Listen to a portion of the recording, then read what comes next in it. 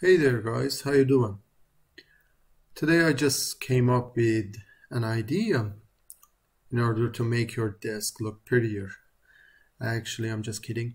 We are going to design a uh, pencil holder for your desk and I am gonna use uh, very simple techniques just in case if you want to redesign it with my tutorial or uh, even if you want the 3D file of it I will leave the link down below. You can download it and maybe 3D printed it for yourself. So let's see what we're gonna design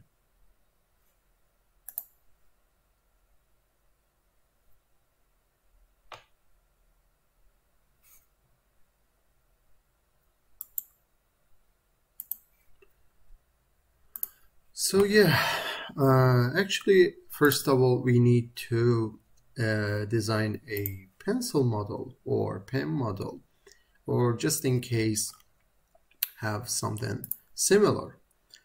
So most of the pencils or pens are uh, something like six to eight millimeters in diameter. So we are trying to make it 10 millimeters in diameter in order to uh, model our pencil. So uh, we will create a simple sketch with uh, a circle in the center of our sketch and we are going to extrude that design and like maybe we can have 130 millimeters. So, yeah, this is our sample of any kind of pen or pencil.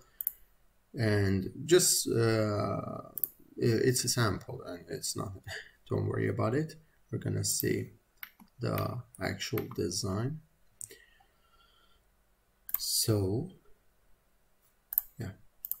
In the body section we are going to move our body off the center. And give it some kind of angle like 15 degrees. And yeah this is our design. It's very simple and it's actually very understandable. So we are uh, we are uh, creating a pattern of our design. We need to uh, select our body and go to the create section and pattern and circular pattern. So like this, you will create a very simple circular pattern. So in order to uh, have the design, maybe you can change the uh, amount of pencils or pens. It's very optional for you. Maybe you are going to use 12 pencils like standard or maybe 100 pencils. I don't know. Just uh, for me, just like 20 pen, uh, pencils are kind of normal, just 20 pencils and pens and stuff like this. And it's gonna be something like this. We are going to change it to the perspective view in order to have a real life view of our design. So that's that's simple. So let's move it back and just see the much more uh, better view. So yeah, that's it. We are going to actually create a sketch and create a circle, which is very neat for us. And other circle. uh, actually we are uh, creating two circles in order to make some basement for our design and uh, some kind of holder for the pencils. So like this we are going to extrude this design to maybe like 35 millimeters and we need to change it to new body. Uh, just in case remember if you uh, want to uh, create new body uh, with the different bodies inside of it uh, you know you have to use this little uh, section that creates new body. Uh, you can cut the body with that shape or make it join or uh, whatever you want. Actually at this point we need to create new body. So yeah like this. So as you can see, it's a bit off. Uh, our new body is a bit off. So we need to, yeah, move it to the, move it lower a bit and like this. So yeah, and yeah. So as you can see, if just in case I remove one of bodies, you can see there's no holes or there's no uh, no section in order to hold the our pen our pencils or our pens or whatever you we're gonna put in there. And we need to make hole in this section. There's a very simple technique in order to do this. I will tell you uh, you need to actually use the combine tool and use the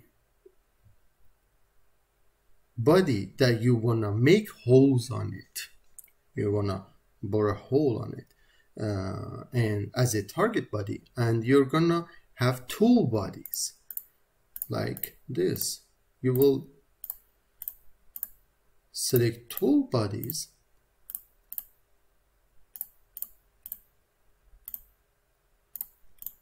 And here comes the magical moment actually.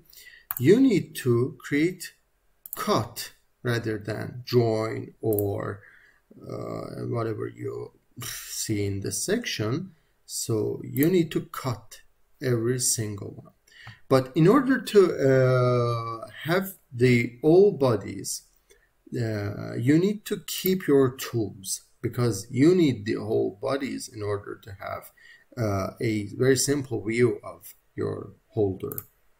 So I'm gonna create, click on OK and hide one of the bodies. And as you can see, very simple technique and very basic technique. You could uh, bore a very angled hole on your body.